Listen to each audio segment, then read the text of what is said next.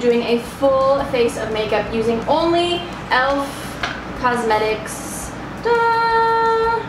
I'm really excited. Um, if you guys hear a faint humming in the background, it is my air conditioner. It's almost 100 degrees outside right now. So for the sake of my life, um, I am keeping my air conditioner on, so hopefully you guys can live through the buzz in the background of this video. My next few videos might have the buzz because we're getting a heat wave here in California, so sorry, that's what happens when you have a home studio. But anyways, let's do this full face of e.l.f. makeup. I'm really excited too because e.l.f. is cruelty free and it's really, really, really inexpensive. Most everything here is under $5. Some things are only like a dollar or two, so you can do a full face of makeup for like 20 smackers or 30 smackers, which isn't too shabby. So let's do it. Okay, so to start with, I'm going to use this illuminating moisturizer. I'm using a new camera, so bear with me as I'm learning the new tricks of the trade. This is just a nice, supposed to be a nice, ooh, it smells nice. Um, it's supposed to add a little bit of shimmer to your skin. So I'm just applying this to my entire face. Ooh, that feels real nice. So I'm going to use this um, foundation. It is the oil-free SPF 15 sunscreen foundation. I'm always a fan of any products that have... this is really hard to... Oh, it just lives... Just kidding. And I'm using this um, makeup blender. This is the, the sort of beauty blender by e.l.f. Um, it seems very sturdy, which is nice. It doesn't feel cheap. And I like that it actually has this little rim so you can hold on to it while you're doing your makeup. Sometimes the beauty blender is a little awkward to use. I hope this foundation matches my skin. So I'm just gonna apply this all over my face. So this seems to be a fairly light coverage foundation. So I'm going to layer it. My skin is really, really bad right now. That's what happens when you have surgery and you sit on the couch for two weeks and don't wash your face properly. Ooh, whatever is happening here, I don't know if it's the moisturizer or the foundation, but my skin is oily. I generally have combination skin. This time of year my skin gets a little bit more oily just because it's more humid in the air. But generally my skin is not shiny after I put foundation on. So this is like next level. I'm definitely going to need some powder. Alright, moving right along. Now I am going to use the concealer. Uh, this is the under eye concealer and highlighter duo. We're gonna do both today because I want to test out both of these bad boys. Little concealer under the eyes.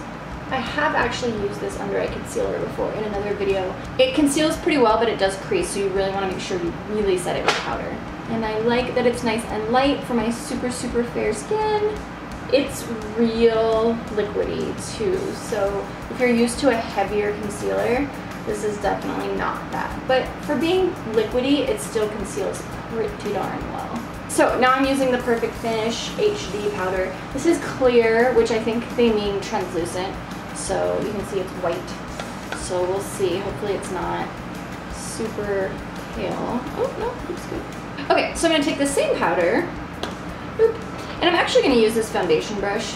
It's the ultimate blending brush. It's good for foundation, but I don't actually have a powder brush and I am determined to only use e.l.f. products in this video. So we're gonna use this.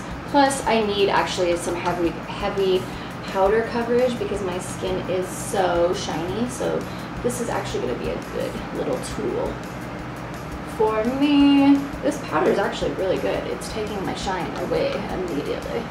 The under eye concealer isn't as full coverage as I like. I do have dark under eye circles, so for you gals that have dark under eye circles, suggest maybe a different brand's under eye concealer. Alright, so now we're going to do a little bit of contour, just a little, little tiny bit just to use these products. So this is the white in that concealer pack. Should have actually put this on before my powder, but I didn't. So there you have it.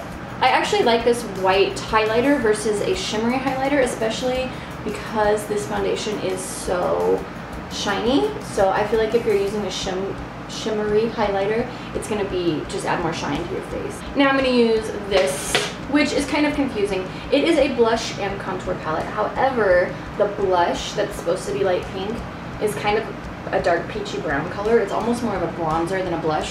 I'm going to use it today, but first I'm going to use the darker color and this little contour brush. This is number 104. Let's see, hopefully this isn't too dark. Ooh, it's pretty dark. All right, that's okay, we'll blend. I also should have done this before I applied my powder, but like I said, I didn't. So we're gonna roll with it. This is actually pretty good. It's very blendable. I'm using just a little, little bit of it though. For you pale girls, you don't want to use too much of this. And I'm using the darker color in this palette. So then with that Ultimate Blending Brush, I'm just gonna apply the blush color, which is that peachy color. See if it even adds anything. I feel like it's not that different from the color of my skin. Oh, it adds a little, little flush, little bronzy flush. I feel like this is definitely a good summer blush because it does add some bronze to your face instead of that peachy glow. Alright, so we are not doing a pinup look today, so I'm not going to do too much of this. It definitely has some shimmer to it. So beware if you don't like shimmer, but if you do like shimmer, then yay! Alright, now I'm going to use their eyelid primer. I'm actually using more of a liquidy shadow today, but hopefully this helps it stay a little bit more. I know usually with the inexpensive brands, the problem is pigmentation in the powders, so anything we can do to make these brighter. Although e.l.f. is pretty darn good. You know, honestly, their brushes are so good, especially for the price. I'm gonna use this, and this is their, um, doesn't have a label. It would help you guys, e.l.f., if you labeled your products, because once you throw the packaging away, you don't know what the heck it is. Let me get the packaging. Okay, so this eyeshadow is the Long Lasting Lustrous Eyeshadow in Soiree, which is this sort of um, purpley color. Have not used this before, so we'll see. This is also a e.l.f. eyeshadow brush. I think it might be easier to use my finger, but I'm going to start with my brush and see what happens. Finger it is. Alright, so these long-lasting lustrous eyeshadows go on better with your finger. It's got good pigment though. So I'll probably use my brush to finish the blending, but just to get this on my lids, my finger is pretty darn good. Alright, see if this will work for the edges. Yes, it will. Excellent. Alright, I'm going to see, just see, this is the um, bottom shader, or just a shader, I guess. I'm to see if this will work, because it's hard to get my fingers around my bottom lashes. You really have to get a lot of product on your brush to make the brushes work, though. That is one thing with e.l.f. makeup, is that most of their shadows and powders and blushes have shimmer in their product. So if you are a matte girl, um, e.l.f. might not be your brand. But if you are a shimmer girl, then e.l.f. is the jam. Moving along. Next thing I'm going to do is some liquid liner. I'm going to do a thin, oh, I'm smoking crack. We're going to do eyebrows first. I'm not actually smoking crack. Brow pencil, yay! This is just the e.l.f. brow pencil in brown. Unfortunately, I could not find an auburn. I don't know if they make an auburn. I really wish that they did if they do not because, duh. I'm just gonna do my eyebrows the same shape that I always do. Okay, it's really bothering me how dark brown my eyebrows are, so I'm actually gonna use this eyeshadow palette. It's Peach Squad, and I'm going to use the peachy, a mix between the peachy and the bronze, not too much of the bronze because it does have some gold in it, um, but I'm gonna hope this is gonna add a little something in there so that my brows are not so brown. Perfect. Yay. Oh, and I'm using the eyebrow brush. If you ever have a hard time matching your brow color to your hair, using an eyeshadow will definitely help. I would go with a base of a pencil or a pomade so that it really sticks to those brows and then go over with a shadow to sort of add the color in. Because then the color will stick to the, um, the other formula you have used. It's a really nice brush. And I like that it has a spoolie on it too because I have unruly brows. Unruly spoolie. Now I'm going to do my liner same eyeliner, and I'm just going to do a thin line because I'm going to go over it with a different eyeliner too. So like I said, just a really, really thin line. And I am doing a wing, but a nice thin, pointy, long wing. I like this liner because it's nice and liquidy, but if you are a beginner, definitely start with a felt tip because this will be really difficult to use. Now we're going to use this cream eyeliner dun, dun, dun, in Teal Tease not used their cream eyeliner before, so we will see. This will be an adventure. And I'm using their eyeliner brush. So I'm just going to line right on top.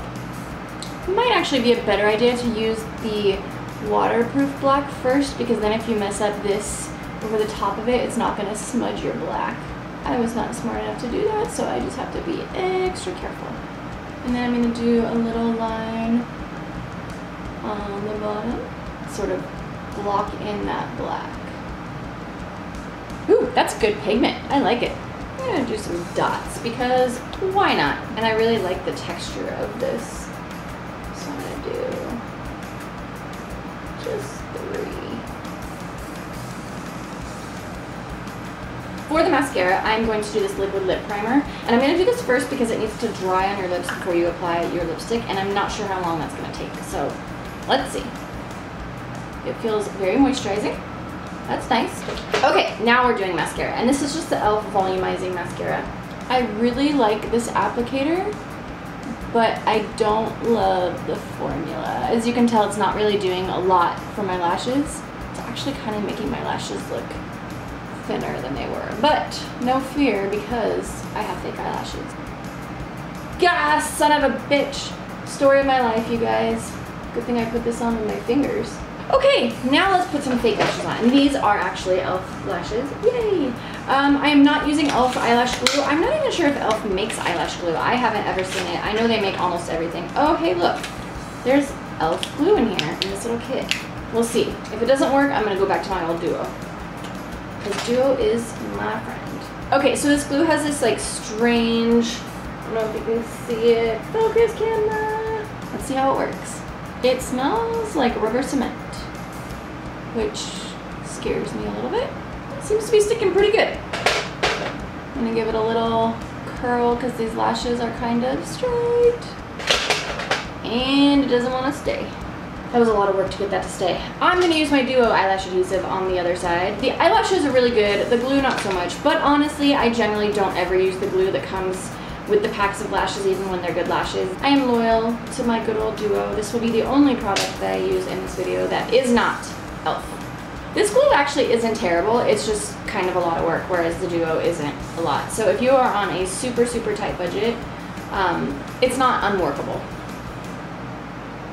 Hydration is important. All right, let's get this bad boy on. All right, so maybe it wasn't the glue. These lashes are a little difficult to work with. I don't know what it is. I think maybe it's because they're so straight. They don't have curl to them. All right, my lips feel really sticky, so I hope that means my lipstick is gonna stick. We will see. I'm actually using their lip lacquer, which is their version of a liquid lipstick, so I don't know if it really um, makes a difference if you use a primer, but I'm using all the products today, so we shall see. Oh, this is uh, Tea Rose.